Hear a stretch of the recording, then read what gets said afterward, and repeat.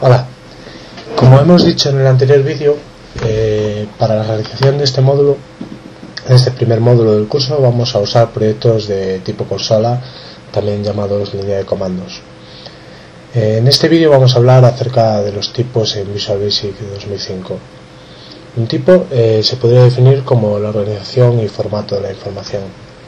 En Visual Basic 2005 tenemos distintos tipos de datos eh, podríamos distinguir entre tipos de datos numéricos o boolean o que es un tipo de datos que solo admite dos posibles valores, cierto o falso y dentro de los numéricos también podríamos hacer una distinción entre aquellos que son de tipo entero o aquellos que son racionales, es decir, que pueden tener una fracción. Por ejemplo, un tipo de dato numérico entero sería integer. Bueno, fijaros ya lo primero que me está marcando en verde eh, el nombre del tipo porque me está diciendo que como veis ahí que es una variable sin utilizar. Entonces eh, para que no nos lo marque pues vamos a utilizarlo aquí.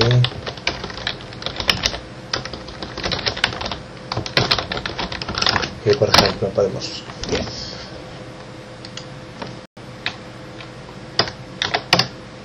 parece que está mal escrita. Bien. El tipo entero, como veis, eh, puede tomar eh, un valor eh, de 32 bits con signo. esto quiere decir que sería capaz de almacenar pues aproximadamente 2.000 millones, desde menos 2.000 millones hasta 2.000 millones. ¿De acuerdo? También tenemos el tipo de dato ¿de acuerdo? Que también es un tipo de dato numérico entero, pero que en este caso toma 16 bits, es decir, eh, podría tiene menor capacidad de almacenamiento que el tipo de dato integer. Eh, estos tipos de datos eh, en Visual Basic 2005 los podemos especificar bien con signo o sin signo, es decir, podemos tener tipos de datos que vayan desde el menos algo hasta el más algo o bien podemos definir un tipo de datos que simplemente vaya desde el cero hasta un determinado valor.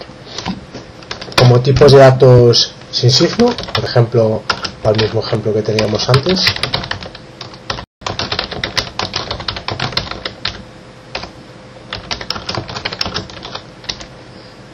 tenemos el integer y para el entero corto, pues por ejemplo tendríamos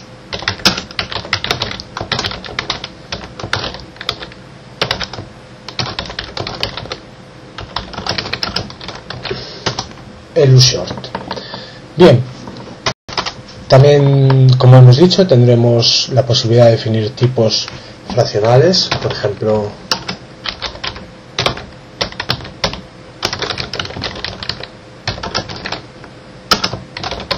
doble o bien el numérico fraccional sin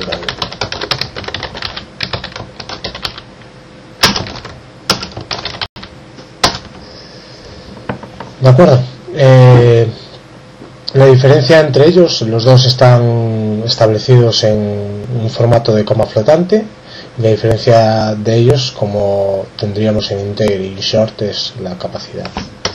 Tenemos tipos de datos como caracteres,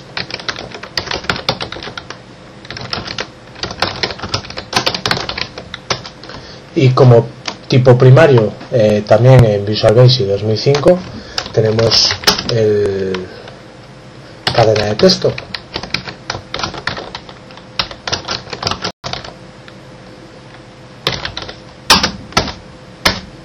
¿De acuerdo?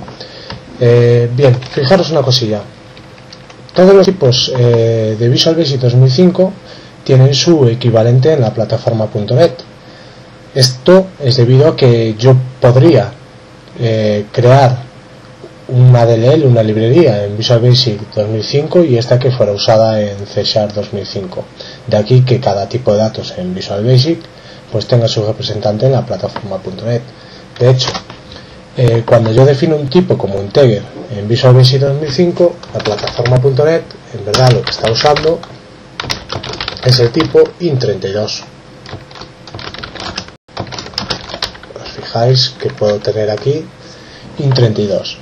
Lo mismo pasaría con el tipo de datos short, que en verdad usaría IN16, y con los tipos de datos para 64 bits. Otro ejemplo de tipo de datos que podría tener en Visual Basic sería el tipo de datos byte o el tipo de, de datos sbyte, que funcionaría de la misma forma que tenemos los tipos de datos integer y integer.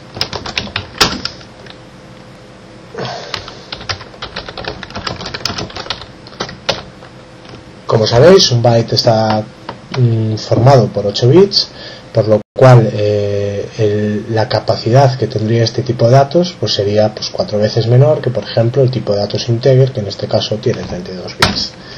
Este tipo de datos byte pues podría ir desde menos 255 hasta 255 y su representante con signo